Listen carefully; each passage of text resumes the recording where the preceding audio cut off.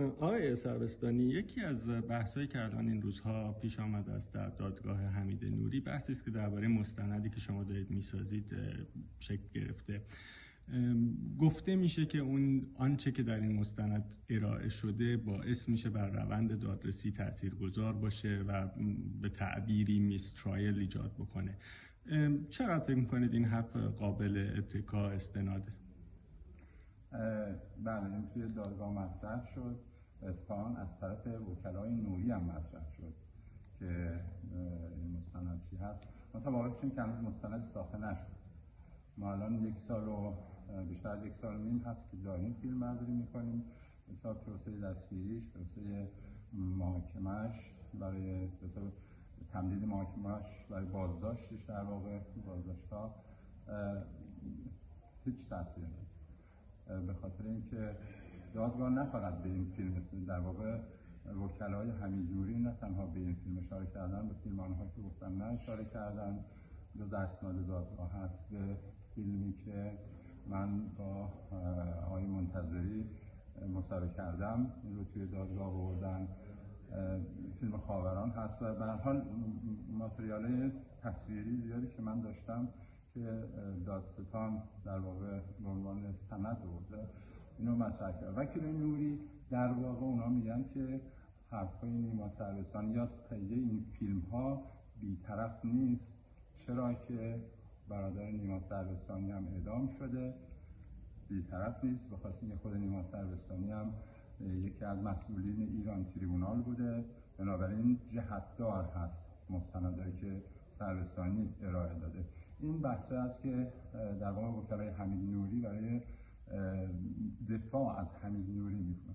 به نظرم کسایی که این مسائل رو مطرح می‌کنن حاشیه ای و یا مردم رو میترسونن که دادگاه داره تعطیل میشه نمی‌دونم تو فضای مجازی این کارا می‌کنن خب فضای مجازی با فضای حقیقی فرق می‌کنه.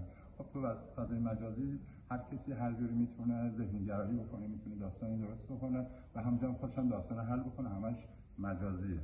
ولی فضای حقیقی دادگاه هست که اصلا به این مسائل حاشیه‌ای خیلیتاً توجهی نداره به کار خودشون ولی بر اساس همین چیزی که میگین فضای حقیقی اون چیزی که وکیل حمید نوری شما گفتین بهش استناد می‌کنه یعنی بیطرفی رو در واقع به نوعی زیر سوال می‌بره با توجه به اینکه شما خب خودتون هم از خانواده جانباختگان هستید.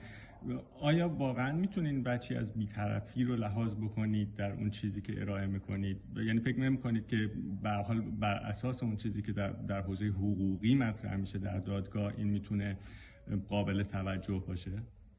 نه من اصلا کار مستندساز این هست که بیطرف باشه. به اجازه بده که مردم و بیننده ها قضاوت بکنن و حتی از نظر حقوقی هم اجازه میده که حقوقدان ها اونو بررسی بکنن. به خاطر همین مثلا مصاحبه آیتون منتظری اصلا رفتی به بیطرفی با طرفی نداره. من مستند کردم.